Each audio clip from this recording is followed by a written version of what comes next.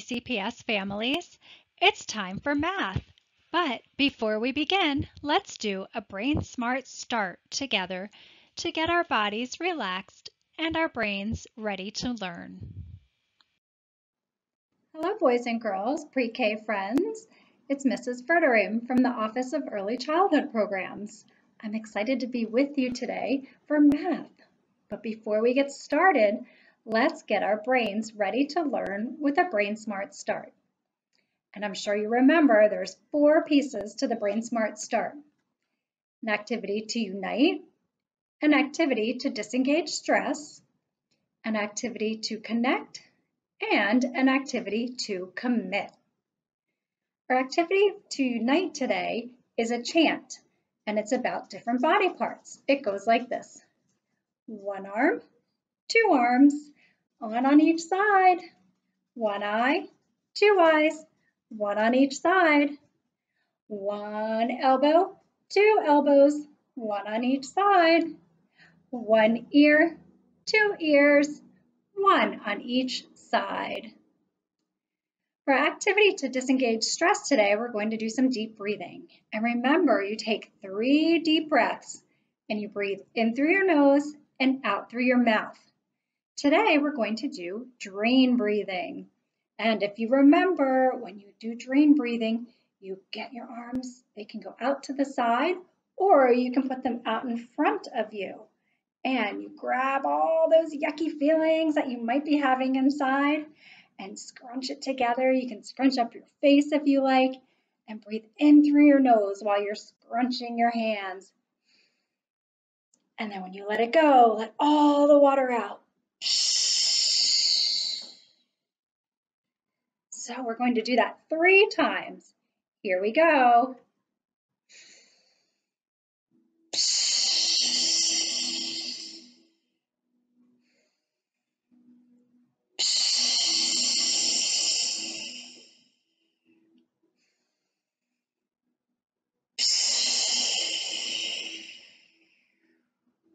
Ah, now your body's all relaxed. Our next part is the activity to connect. And for this, we're going to use one of the songs that are in your print packet that you got in the mail. And this is called Georgie Porgy. You might also remember it from your classroom. And it goes like this. I don't have a family member right now with me, but you can call one over or you can use one of your stuffed animals or we can pretend together that we're doing it and use our hands. Ready? Georgie Porgy, Puddin' Pie, gave his friend a big high five. With his friend he loved to play. A gift of a handshake he gave each day. Well done. The next piece, our fourth piece, is the activity to commit. And today I'm going to commit to good listening ears because we have a fun activity coming up where we get to use paint and paintbrushes and ketchup and get to make a little bit of a mess. So we want to have good listening ears so that you don't miss anything.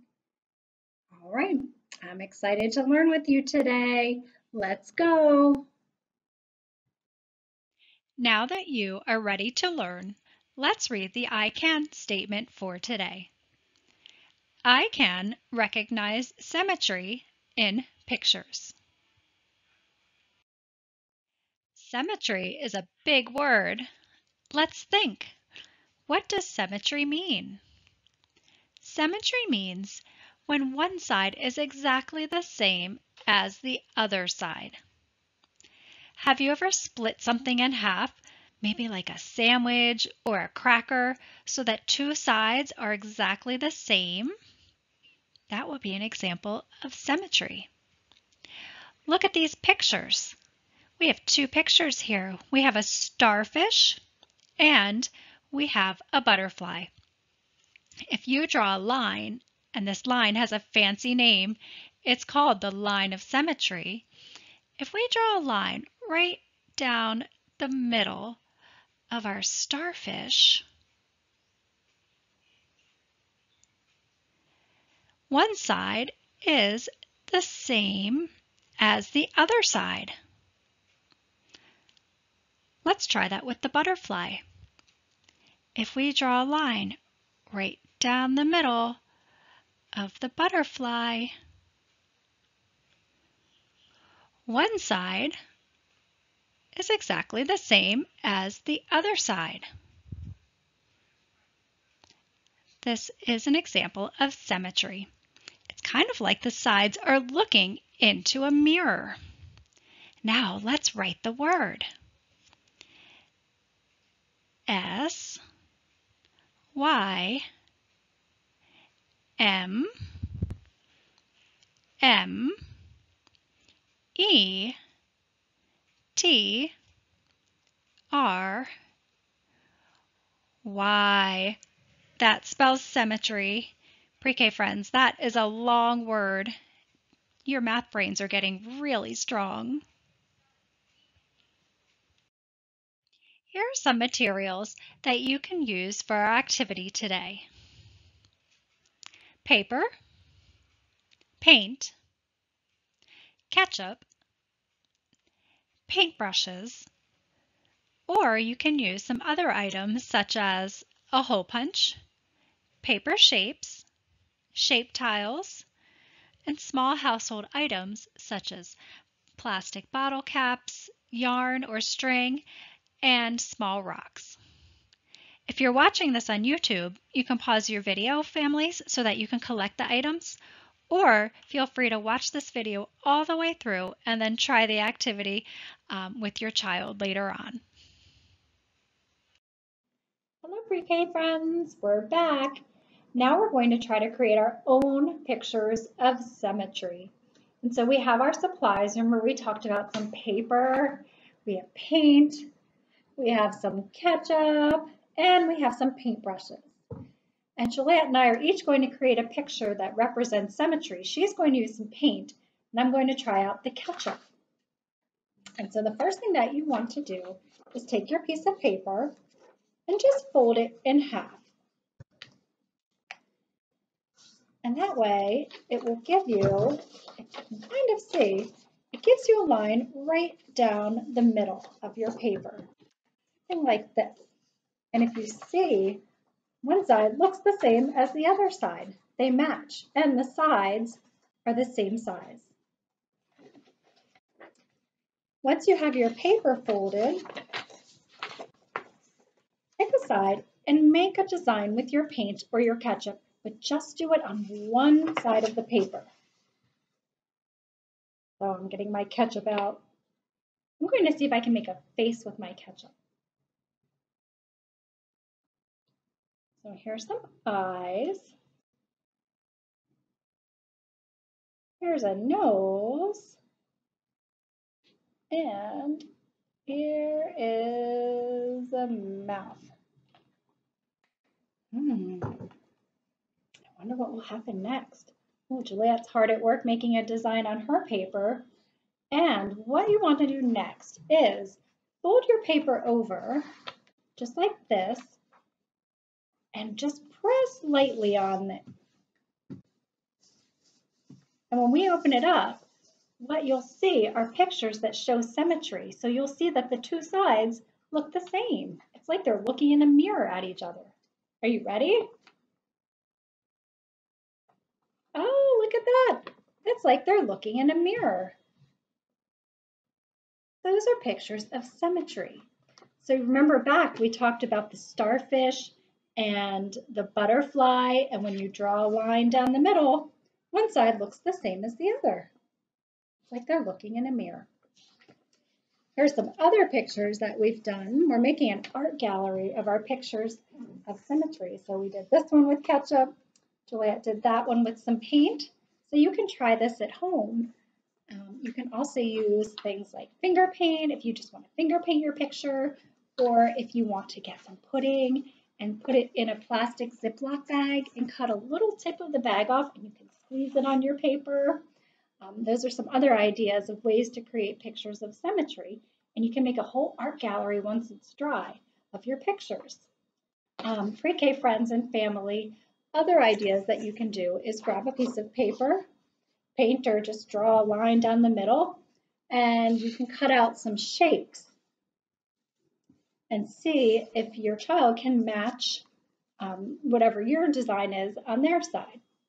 So if I say, um, and this is a great idea too, it gives you a chance to use position words. So place the circle at the top of the paper and then see if your child can do the same thing.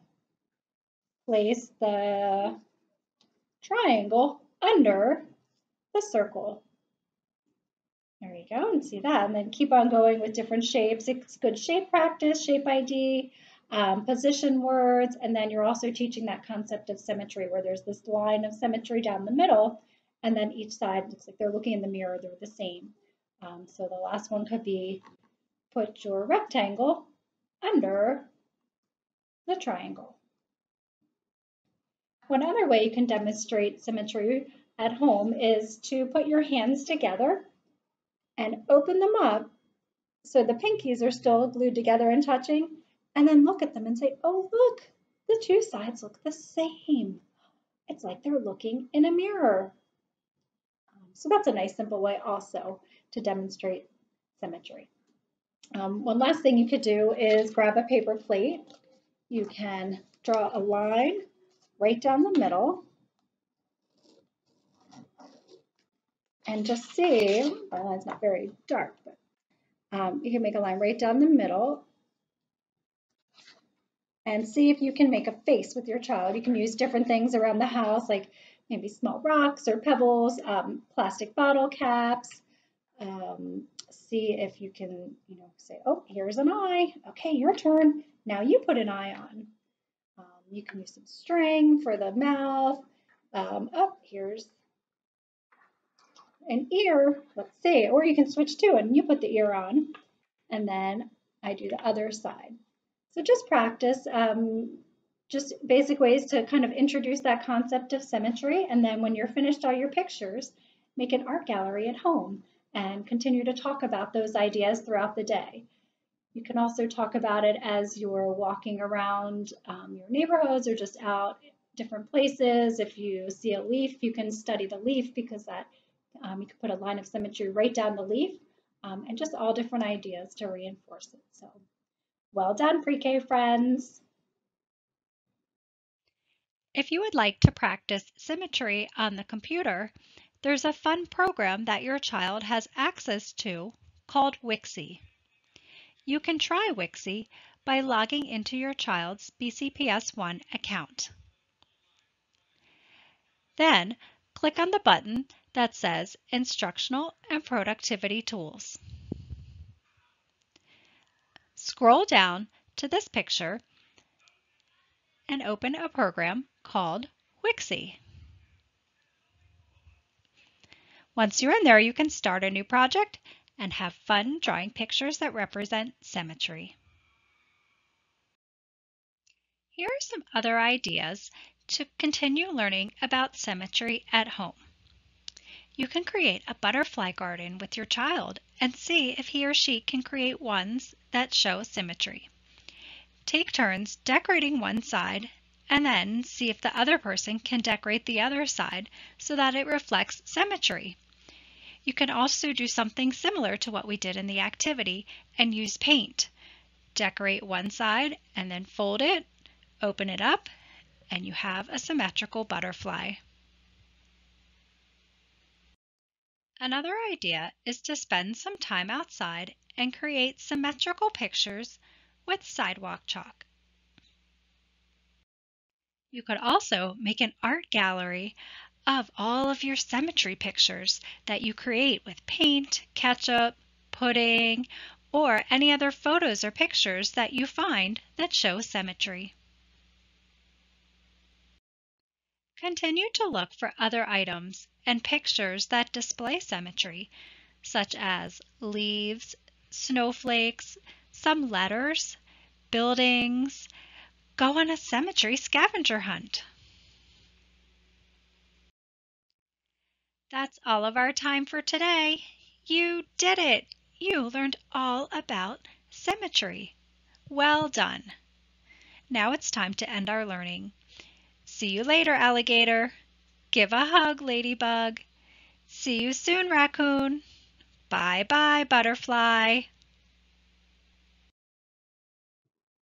We wish you well.